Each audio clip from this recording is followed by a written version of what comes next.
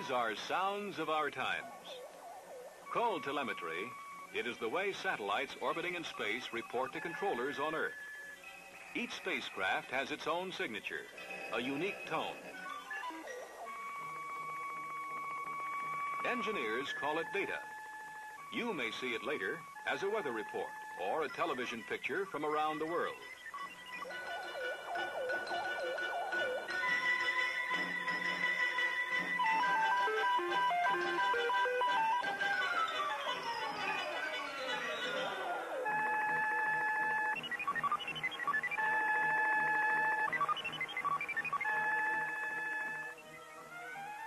Space down to Earth with application satellites. What they are, what they're doing for you now, and what will be happening in the decade of the 70s. Weather, communications, Earth resources. These will be among the main topics for dialogue in the 1970s. Each has its own type of impact on our lifestyles. At times, we will be more concerned about one than the other, but always they will be there.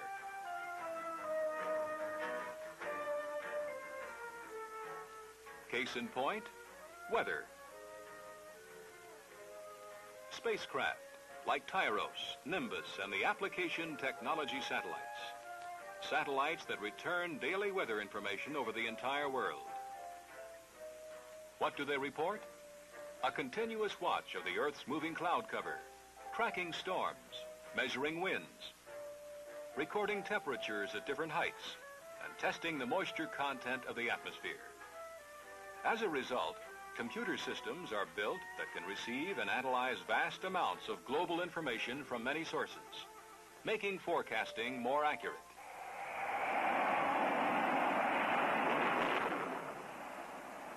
Hurricanes with their devastating winds and flood-causing rains. A perennial threat. In 1969, Hurricane Camille was first observed and then tracked by satellite. Because the storm's arrival was predicted accurately enough in advance, it was possible to evacuate people from the Gulf Coast. Without this early warning, the Weather Bureau estimated that 50,000 people might have been killed.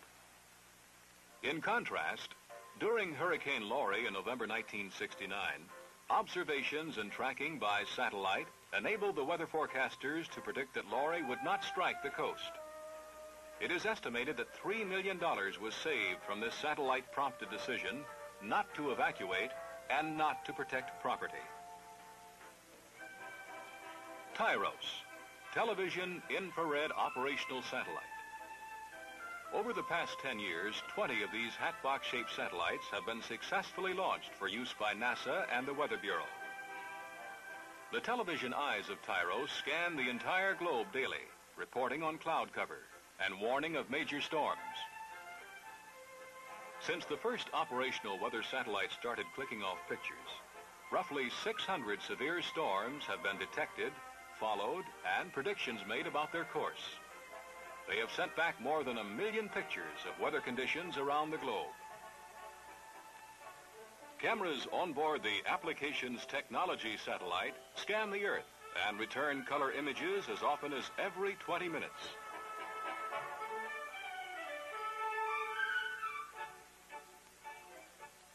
Here's a view showing six hurricanes on one picture.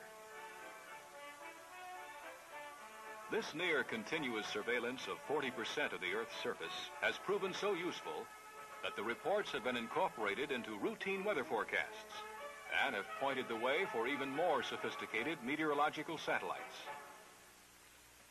Major airlines make use of satellite data in planning their flights. Pilots routinely receive weather photos of their transoceanic routes.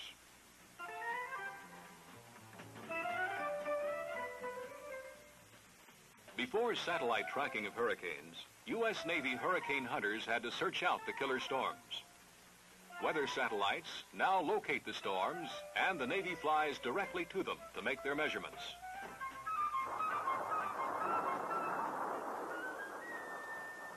The Navy also uses weather satellite pictures for ice patrols. Remote stations in the Antarctic benefit too. Giant resupply ski planes can be safely scheduled for landings in the icy outposts without worrying about being trapped by snowstorms. Supply ships benefit from improved scheduling as well. A recent satellite in the Tyro series does the work of two spacecraft. Carrying twice as many cameras, it's capable of discerning cloud formations as small as two miles across. The improved TIROS operational satellite carries a proton monitoring instrument that helps spot solar flares. The same instrument can measure the amount of heat reflected from and absorbed by the Earth's atmosphere. This is very important in weather forecasting. In addition, radio frequencies affected by solar storms can be changed in advance and manned flights to the moon better planned.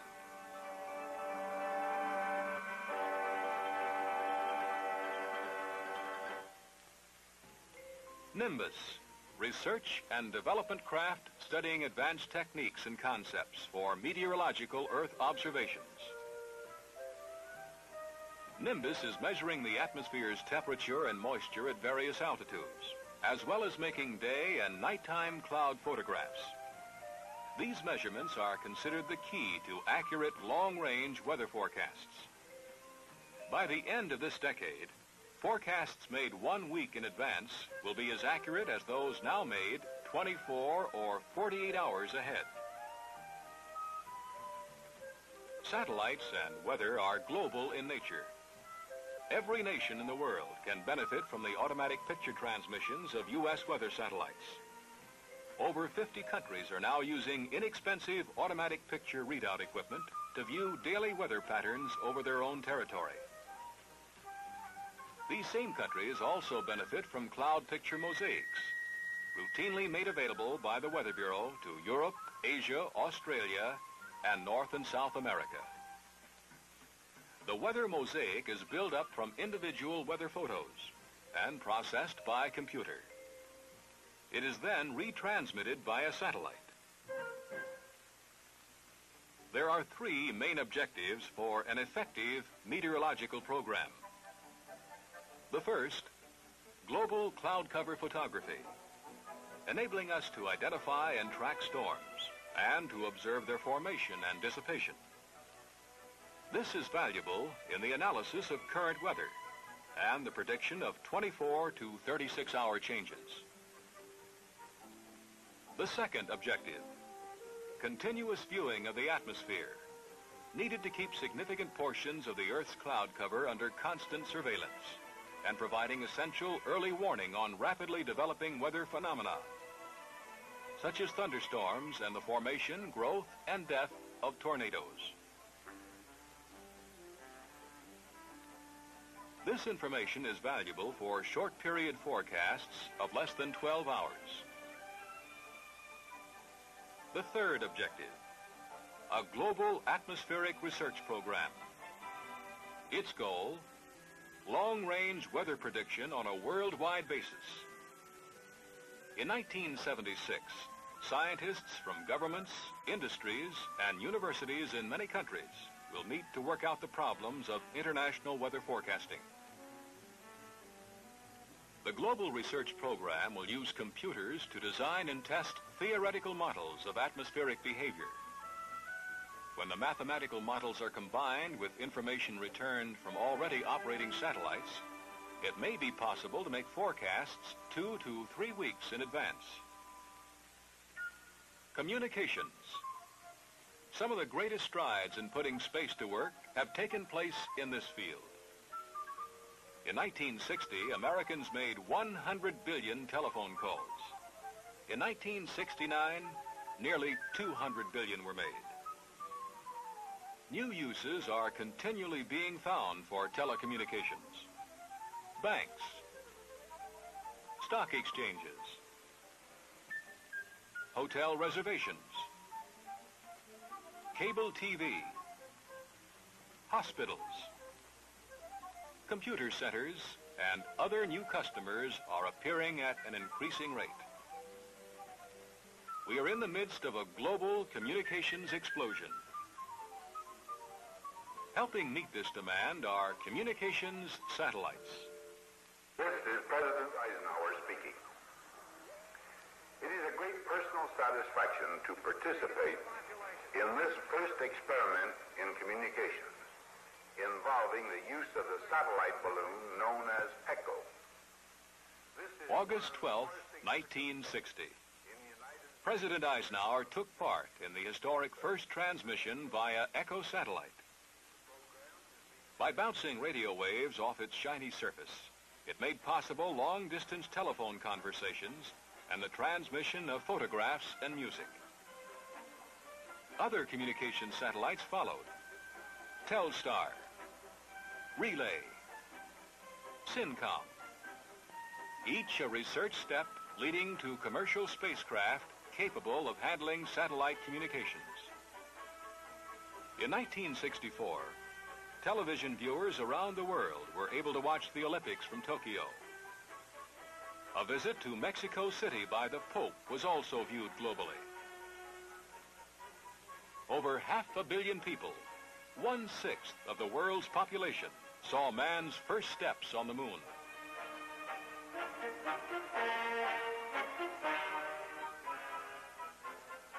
Color coverage of space recovery operations from mid-ocean is now routine. At the Manned Spacecraft Center in Houston, doctors discussed space medicine and early cancer detection. The proceedings were telecast live via communication satellite and provided two-way voice circuits between the United States and three European countries. The closed-circuit telecast enabled 30,000 European doctors to hear the three-hour transatlantic conference. One of the best ways to check out new concepts and techniques in communications, navigation, and meteorology is with research and development spacecraft. The applications technology satellites are just that, serving as platforms for testing out new concepts in all these disciplines. The ATS program consists of seven flight missions. Five of these have already been flown.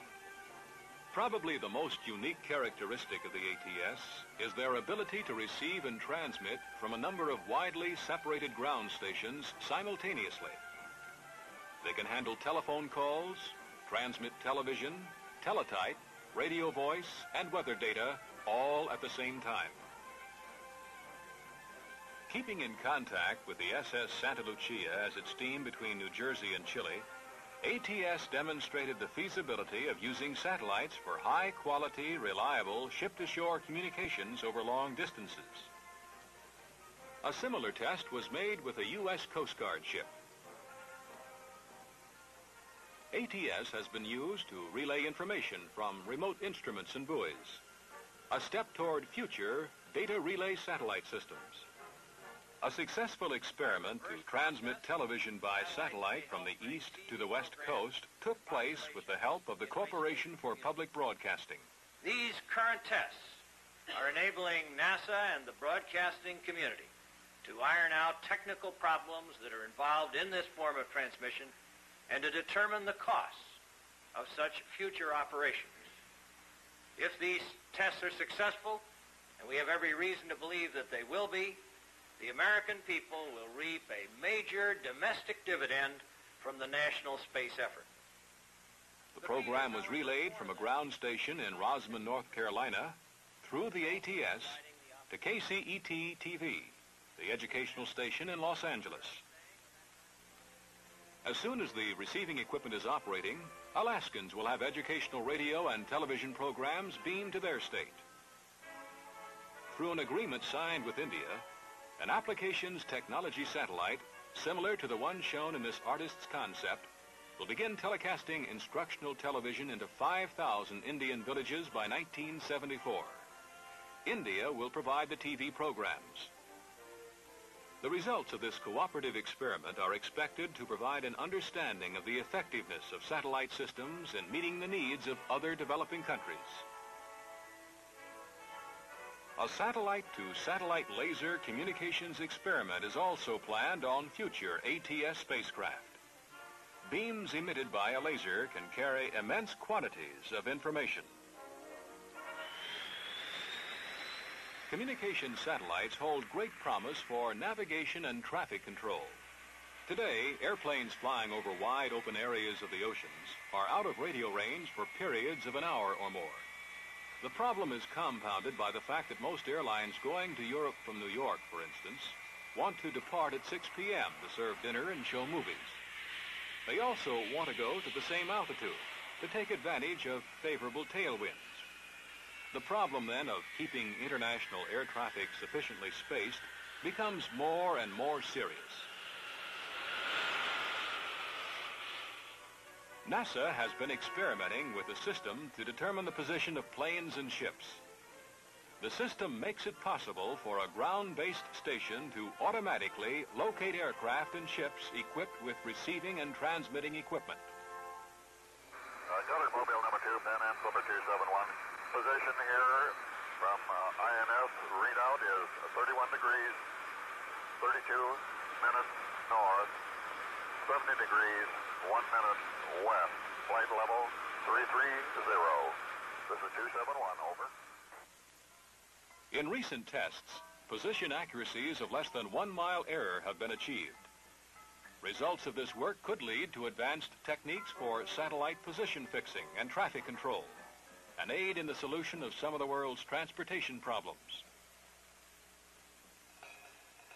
Space geodesy has taught us the true shape of our planet, where it flattens, how much it bulges. With these results, we are better able to map the Earth and to navigate. The orbital path of a satellite is not a perfect circle. The satellite weaves sideways and up and down as it travels its course around the Earth. These deviations are measured only in feet, but they can be detected by Earth-based tracking stations and reveal new facts about the Earth's structure. Satellites have been tracked by laser. After predicting where spacecraft will be at any given time, telescope-mounted lasers swing into position, and aided by computers, their pulses of light lock on and track the orbiting craft. Three of NASA's Explorer satellites carried special reflectors that mirrored the laser light flashes. The positions of the satellites were precisely determined, and the distance calculated simply by measuring the time it takes the beam to go to the satellite and return. Precision in satellite tracking leads to precision in terrestrial mapmaking. The Department of Interior estimates that the value of up-to-date topographic maps is worth nearly $700 million annually to our national economy.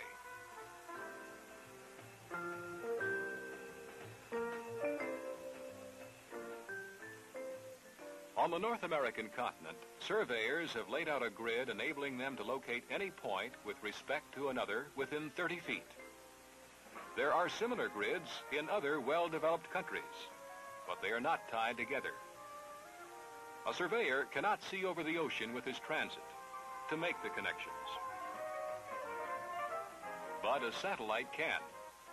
It is a valuable tool because of its altitude. Observers several thousands of miles apart can see a high-flying satellite at the same time. By making simultaneous measurements with optical and radio tracking instruments, they can determine just how far apart they really are. The current goal of satellite geodesy is to tie all geodetic grids together to within an accuracy of 30 feet. Using high-flying satellites as geodetic markers, the world's continents will eventually be tied together to one common reference system.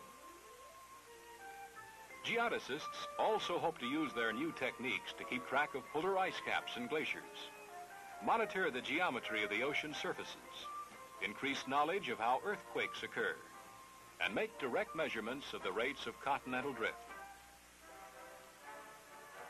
As the world's population continues to grow, our need to develop, protect, replenish, and use our natural resources wisely becomes more apparent and urgent.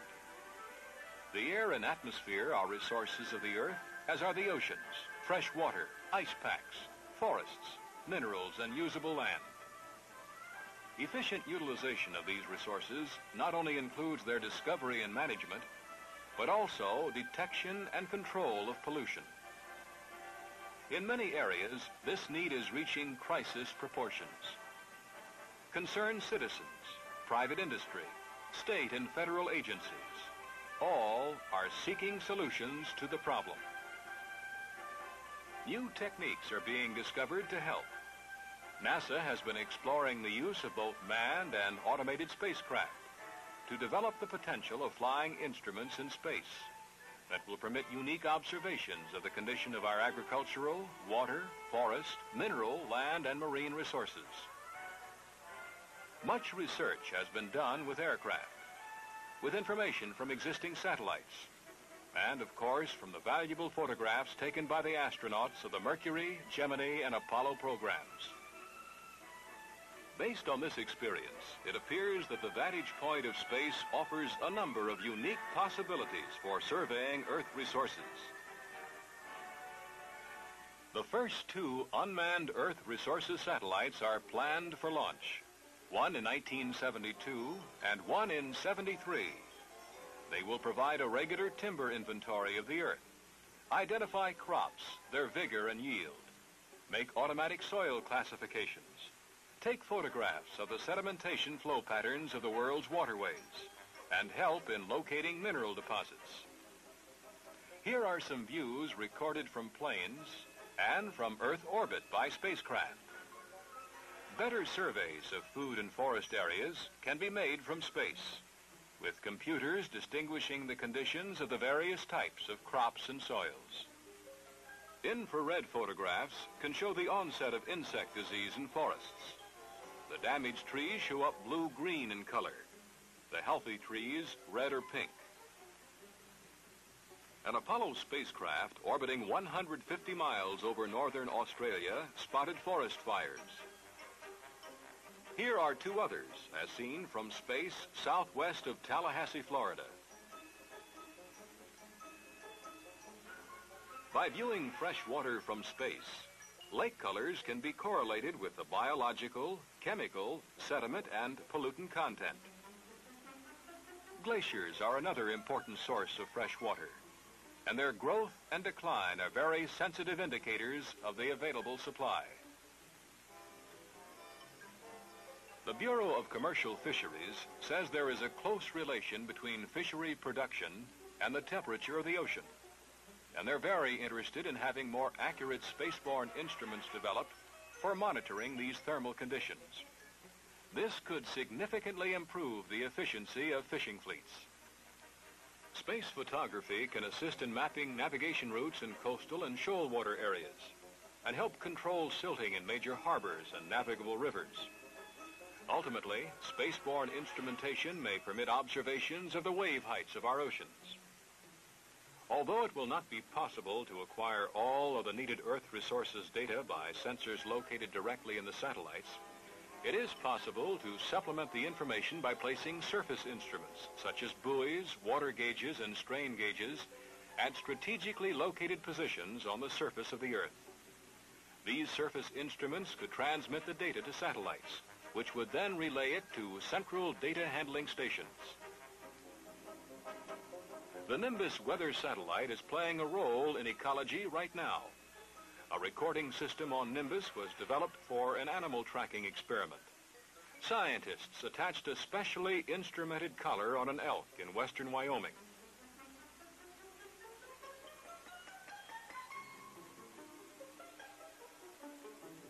As Nimbus flies over, it receives information about the elk's condition and location and reports back to Earth. Accurate tracking of free-roaming animals in their natural environment will increase scientific knowledge of animal migration habits and may show ways to help protect our wildlife population.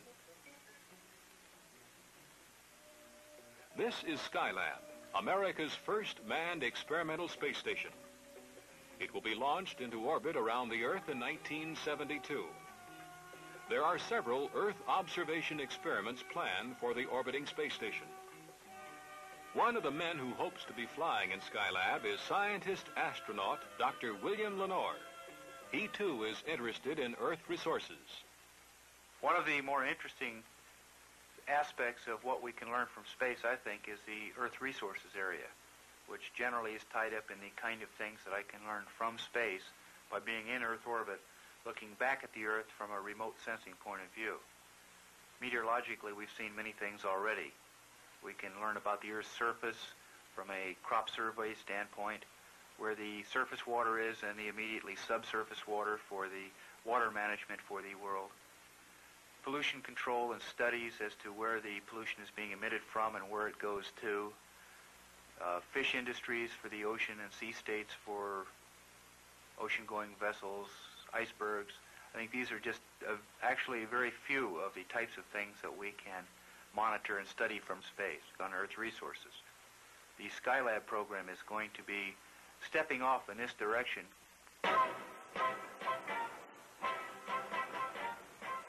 Bringing space down to Earth continues to make a substantial impact on our way of life. Communications satellites routinely provide reliable telephone service on a global basis. And important events are brought into our living rooms through intercontinental television. Coming close to reality. Satellites that broadcast news, educational and cultural programs to populations of entire nations. Meteorological spacecraft aid in daily weather predictions. Satellites for navigation and traffic control will help make better economic and safer use of air corridors and oceans. Earth surveys from space should offer another means of preserving natural resources. We are sharing many benefits from space right now. As we develop this potential in the future, applications from space will have continued, profound, and direct effects on our everyday lives here on Earth.